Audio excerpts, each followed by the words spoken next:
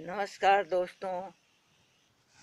मैं बोकारो गार्डन से नगीना शर्मा, आप सभी को तहे दिल से फिर से एक बार हैप्पी न्यू ईयर बोल रही हूँ। दोस्तों, ये आज जो आपके सामने है, इस बीज को आपको याद होगा कि हम लोगों ने इस बीज को लगाया था। ये मेथी का पौधा है। मेथी। इसको हम लोग घर में जो बीज रहते हैं, उनसे भी लगाते हैं। मेथी के ऐसे तो बहुत सारे मेडिसिनल यूज़ हैं, लेकिन मैं आज उस पर चर्चा नहीं करूँगी। आज मैं केवल आप लोगों से इसका वीडियो शेयर करके ये दिखा रही हूँ कि आपने जो मेरे साथ साथ आपने जो इस बीज को लगाए थे, उस बीज की स्थिति कैसी है और पौधे किस तरह के तैयार हुए हैं। दोस्तों, ये बहुत ही आसान था। केवल हम लोगों ने बीज को खेत में ऐसे ऐसे करके छिड़क दिया था और समय से इसमें पानी देते रहे। तो आज ये देखिए किस तरह से तैयार हो गया है। उस दिन हम लोगों ने बहुत सारी बीजें लगाई थी। आप मेरे लिंक पर जाकर देखेंगे तो सीडलिंग जो हम लोग किए थे उसमें आपको नज़र आएगा। मेथी के साथ साथ हम लोगों ने पालक भी लगाए थे। तो इधर जो आपको दिखाई दे रहे हैं वो पालक हैं। इधर वीडियो ले जाने में दिक्कत हो रही है, इसलिए इधर से ही मैं आपको दिखाने की कोशिश कर रही हूँ। ये पालक के पौधे हैं, इसे भी हम लोगों ने उसी दिन लगाए थे। करीब दस दिन हो गए दस दिन के बाद इनकी स्थिति ये है। ये एक पेड़ के नीचे लगे हुए हैं। इसके बावजूद ये इतने हरे भरे और इस तरह से हैं। तो अब हमें करना क्या है? मेथी तोड़ना है और अपने इसका उपयोग करना है। बस।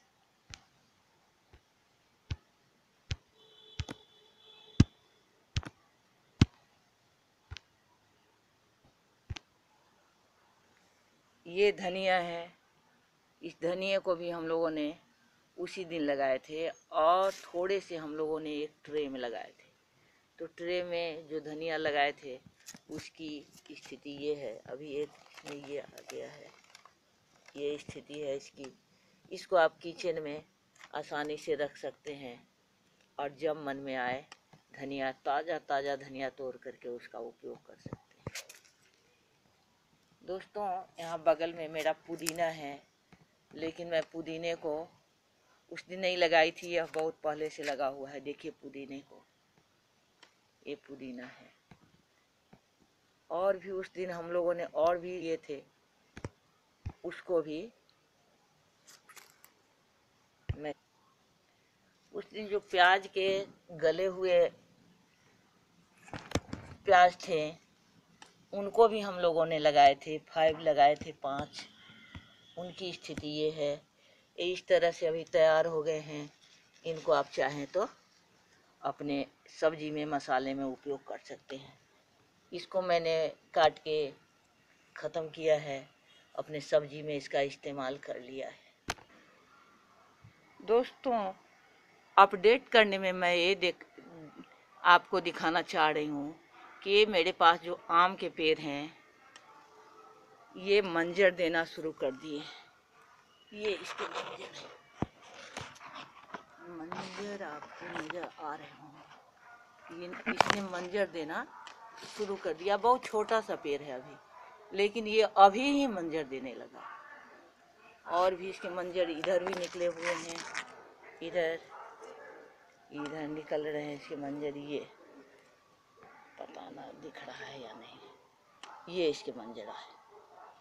और भी मंजर है नीचे नीचे मैं वहाँ तक पहुँचने में दिक्कत हो रही।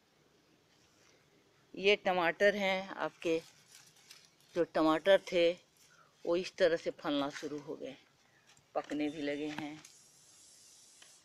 इस तरह से टमाटर की ये स्थिति है। अभी कुछ नीचे नीचे हो गए हैं। इनको संभालना भी है। देखिए इस तरह से। नीचे इसके नीचे गिर गए दोस्तों, ये बैगन। बैगन का पेड़ है, ब्रिंजल, ये इस तरह से लंबे वाले हैं, इस तरह से फल रहे यहाँ, ये देखिए। ये पता ना पत्ते से आपको दिखाई दे रही है या नहीं दे रही है। मेरे मन में हुई कि आज मैं आपसे इन्हीं को शेयर करूँ। तो मैंने मैंने आपसे अभी बैगन को शेयर करने के लिए मुझे दिखाई खुद ही नहीं दे रही है, मैं क्या करूँ? दोस्तों, ये दिखाई दे रही है आपको। देखिए कितने स्वस्थ बैगन है। ये अपने खेत से निकलेंगे, कितने स्वादिष्ट लगेंगे। ये देखिए, झुक के मुझे दिखाना पड़ रहा है, क्योंकि यहाँ पर मुझे जगह नहीं मिल रही है बैठने की। ये गोभी है। गोभी के फूल निकलने शुरू हो गए हैं। बहुत सारे तो गोभी हम लोगों ने खा ली है। अभी बहुत सारे इस तरह से निकले हुए हैं, निकल रहे हैं। दोस्तों, ब्रोकली जो हम लोगों ने लगाए थे, वो भी अब निकलना शुरू कर दिया है, ब्रोकली।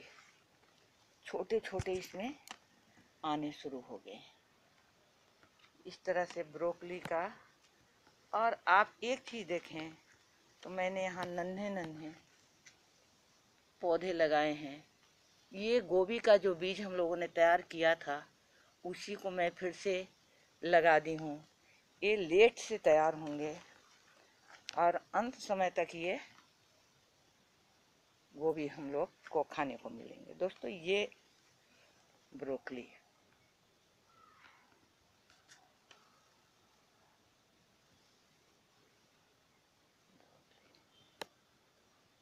ये ब्रोकली का ही खेत है। पूरे में ब्रोकली लगे हुए हैं। पूरे में ब्रोकली लगे हुए हैं। तो दोस्तों, इस तरह से मैंने आज आपसे अपने बगीचे का वेजिटेबल गार्डन का वीडियो शेयर किया है।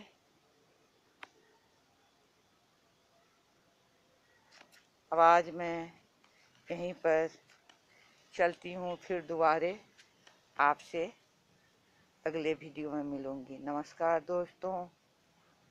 बहुत बहुत प्यार मेरे बच्चों।